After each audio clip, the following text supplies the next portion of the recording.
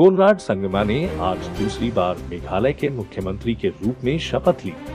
BJP के सहयोग से बनी इस सरकार में कुल बारह मंत्री होंगे।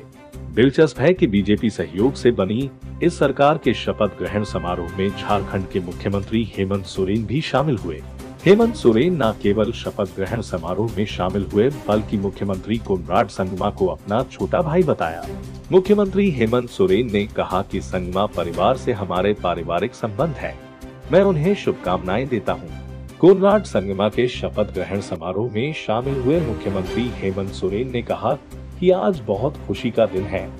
मुझे इस समारोह में हिस्सा लेने का मौका मिला। संगमा परिवार से हमारे पारिवारिक संबंध है। मुख्यमंत्री हेमंत सोरेन ने कहा कि आप अंदाज़ा लगा सकते हैं कि जब छोटा भाई शपथ लेता है तो कितनी खुशी होती है। मैं उन्हें शुभकामनाएँ देता हूँ। गौरतलब है कि कोनराड संगमा लगातार दूसरी बार मेघालय के मुख्यमंत्री बने हैं। उन्होंने मंगलवार को शपथ ली। बीजेपी के सहयोग से बनी मेघालय डेमोक्रेटिक अलायंस नाम इस गठबंधन सरकार के शपथ ग्रहण समारोह में प्रधानमंत्री नरेंद्र मोदी गृह मंत्री अमित शाह और बीजेपी के राष्ट्रीय अध्यक्ष जेपी नड्डा आदि शामिल हुए। मुख्यमंत्री कोनराड संगमा के साथ 12 मंत्रियों ने शपथ ली।